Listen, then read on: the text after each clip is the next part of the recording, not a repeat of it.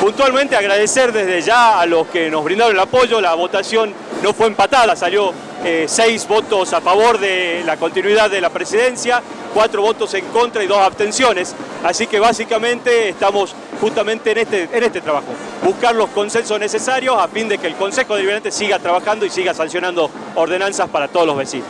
La modificación que introdujeron, de acuerdo a lo que señaló el concejal Geovergia, era para garantizar la gobernabilidad. ¿Usted coincide con esto?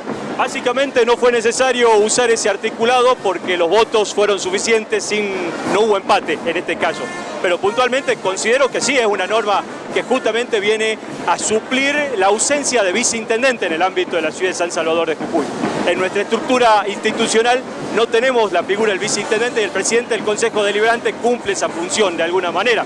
Es decir, que, que el presidente del Consejo Deliberante eh, sea del Riñón o, trabaje con la, la gestión municipal, creo que es importante porque posibilita que el intendente pueda desde viajar a hacer gestiones a Buenos Aires, desde tomarse una licencia o realizar cualquier tipo de actividad con la confianza de que va a poder trabajar con el, con el Consejo Deliberante. Es una nueva etapa, un nuevo desafío, el compromiso de, seguir dando lo mejor eh, en pos de, este cambio que viene transformando eh, a nuestra ciudad y con esta responsabilidad eh, de representar las voces de los vecinos de San Salvador de Jujuy en el Consejo. El desafío en el Consejo es amplio,